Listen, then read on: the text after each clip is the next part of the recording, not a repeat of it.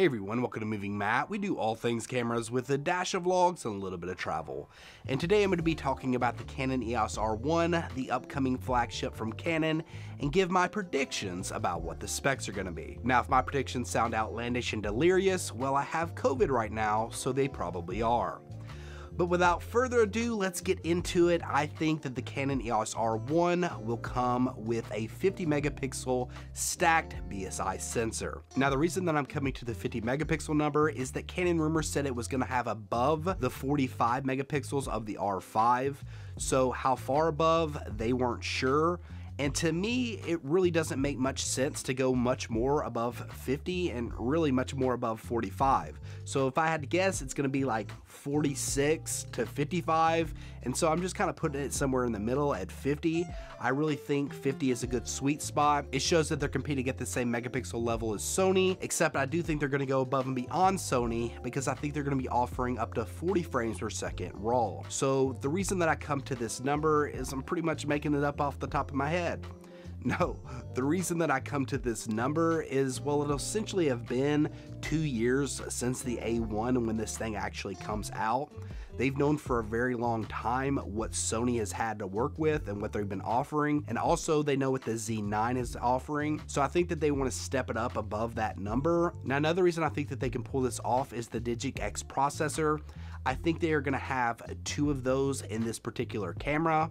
And the reason I think they're going to go that way is the chip shortages that are happening right now.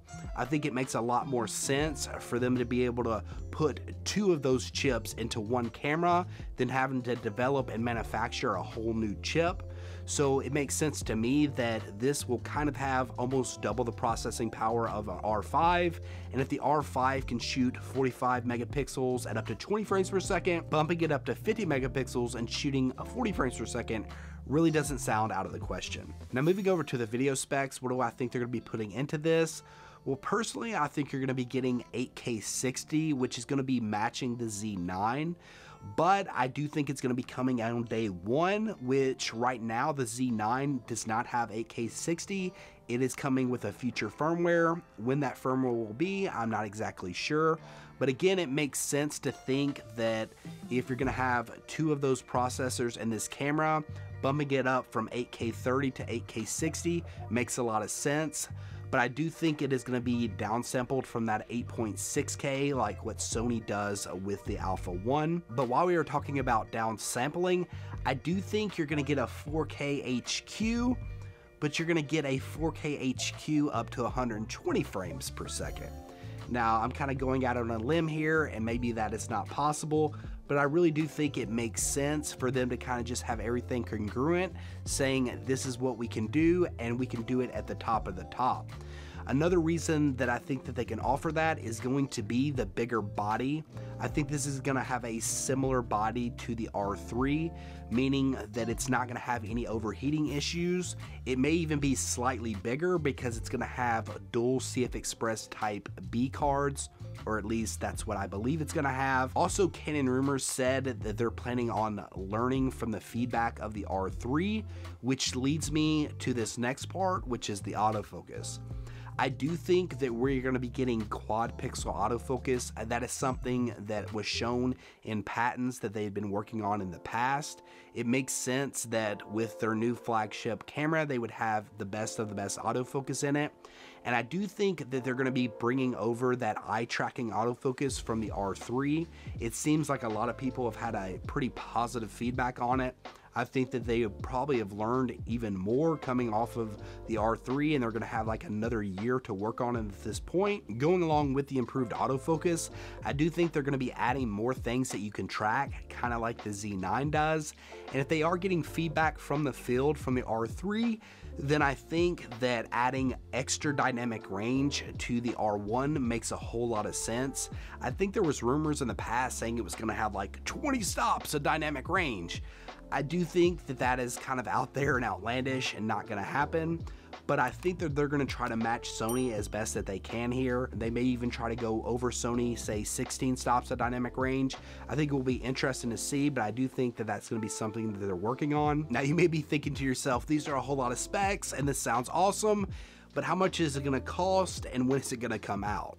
Well, I'll answer the second part first because I think that's a little bit easier to nail down. I really think this is going to come out in a prototype model for the World Cup, which is at the end of this year. I can really see them doing the announcement before the World Cup, giving all the specs, but not really giving it into people's hand until close to December, maybe late December or even early January of next year. So that makes the most sense to me. Kind of think like what the Z9 has done with the Olympics of this year and what they've done with getting it in the hands of people saying it was a 2021 camera, even though it was shipping out December 24th, and even that was in very limited supply. I can see Canon doing the exact same thing with the R1 at the end of this year. Now, when it comes to price, it's a little bit harder to nail down. The R3 came in at $6,000, which in comparison to the $5,500 Z9, really sounds expensive when you compare the specs, at least on paper. So where do I think that this camera is going to come in? Personally, I do not see it going over $7,000, but I really don't see it going much under $7,000. So I would kind of put it in somewhere between the $6,500 mark even maybe up to say 68.99 just so they're saying that they're under $7,000 I really think that they're going to say this camera is worth it because it's the best of the best of everything that we have to offer in this style of body at least. I really think that's going to be their mindset. I think that the Nikon Z9 did something excellent, which is coming in at $5,500 and being somewhat of a budget camera, at least when it comes to the flagships but I do not think that Canon is near the same position that Nikon's in right now. Nikon was really trying to make a big splash into the mirrorless market. They had had trouble getting people to adopt over from the DSLR cameras. So I think having a, you know, quote unquote budget friendly flagship made sense. But with Canon, they've already got a lot of people and a big industry going over to the mirrorless market already. I think they're really just going to be throwing the kitchen sink at it when it comes to specs. But I think if you're planning on getting this camera, you're going to be expected to pay a whole lot for it.